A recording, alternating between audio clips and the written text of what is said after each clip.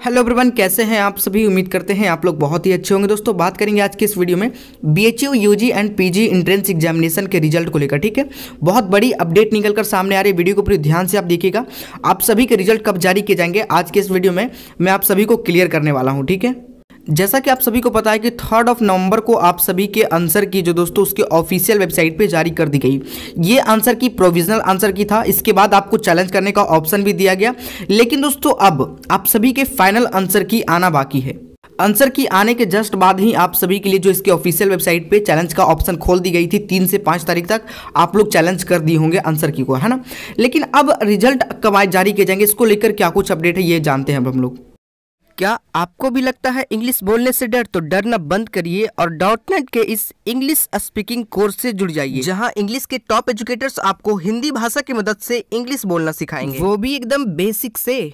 अगर आप इंग्लिश बोलने से हिचकिचाते हैं या फिर इंग्लिश में इंटरव्यू की तैयारी कर रहे हैं या फिर आपको इंग्लिश में पूरी तरीके से पकड़ बनाना है तो आज ही डॉट नेट पर आकर इस कोर्स को खरीदिए और खुलकर अपने इंग्लिश बोलने के सपने को पूरा करिए।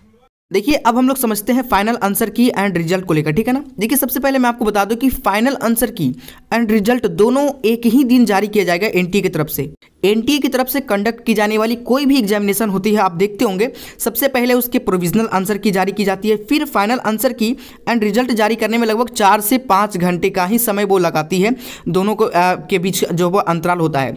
अब दोस्तों समझते हैं कि रिज़ल्ट कब जारी की जाएगी। देखिए सबसे पहले मैं आपको बता दूँ कि रिज़ल्ट में लेट होने के पीछे एक वजह यह है कि इस बार जो चैलेंज किए गए हैं क्वेश्चन को तीन तारीख को जो आपके आंसर की जारी की गई और चार और पाँच तारीख को जो इसके जो चैलेंजेस की गई क्वेश्चंस को तो यहाँ पे चार और पाँच तारीख को काफ़ी ज़्यादा क्वेश्चंस को जो है चैलेंज की गई है इस बार, है ना? तो एनटी की तरफ़ से डिले होने का कारण जो यही है कि आप सभी के जो आंसर की है, उसको सॉर्ट आउट किया जा रहा है। क्योंकि आंसर की में काफ़ी ज़्यादा अगर कुछ गड़बड़ियाँ सामने आती है, क्योंकि रिज़ल्ट आ जाने के बाद अगर आंसर की में प्रॉब्लम सामने आता है तो बहुत ही ज़्यादा प्रॉब्लम का सामना करना पड़ सकता है। इसलिए पहले तो पूरे सॉर्ट आउट किया जा रहा है एन की तरफ़ से।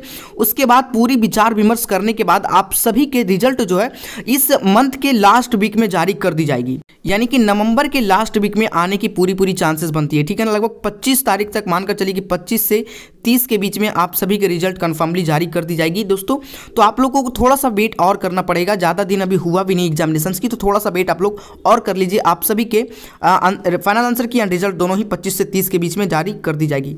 इस वीडियो में इतना ही। चाहते हैं कि बीएचयू से रिलेटेड और भी जानकारी आपको इस चैनल के माध्यम से मिलती रहे तो चैनल को सब्सक्राइब करके बेलेकन दबा लीजिएगा ताकि आने वाले हर एक वीडियो की नोटिफिकेशन आपको मिलती रहेगी। जय हिंद, जय भारत।